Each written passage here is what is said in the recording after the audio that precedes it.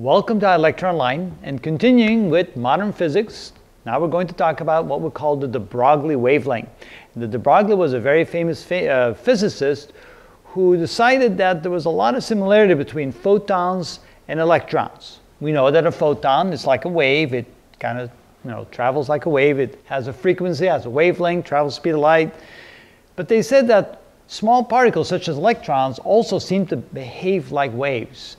So when a particle, like an electron, is moving at some velocity v, it, they suspected, was also going to show wave-like properties, and therefore, as it traveled, it would have a wavelength, just like a photon would. And the question is, what is the wavelength of a moving particle like that?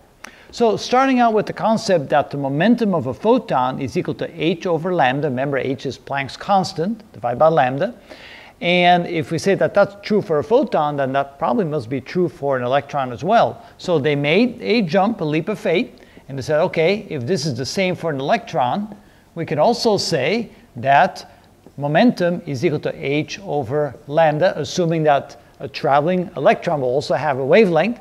And of course, for an electron, the momentum is mass times velocity, so we can say that mass times velocity is equal to h over lambda. And then if we put lambda over there and mv over here, we can then say that lambda is equal to h, Planck's constant, divided by mv. All right, so what we're saying here is that the wavelength of any particle is inversely proportional to the mass of the particle and inversely proportional to the velocity. And of course, we still have Planck's constants there.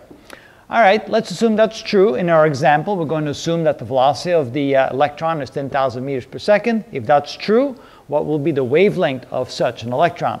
So we can then say that the wavelength lambda is equal to Planck's constant, 6.626 times 10 to the minus 34 joules times seconds. We divide that by the mass of an electron, which is 9.11 times 10 to the minus 31 kilograms.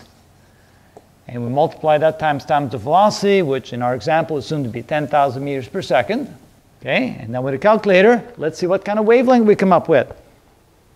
All right, so 6.626 e to the 34 minus, uh, divided by 9.11 e to the 31 minus, and divided by 10,000 equals, and it looks like, hmm, 72.7 nanometers. So lambda equals 72.7 nanometers. Now that's kind of interesting.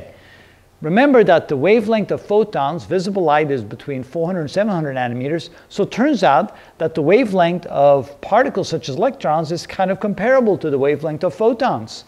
Now, of course, if this had been a proton and we put a proton in there, course, the mass of a proton is about 2,000 times the mass of an electron. That means the wavelength would have been a lot smaller, a lot more difficult to see. But for very small particles like electrons, there's a sizable um, wavelength associated with the motion of that, of that particle.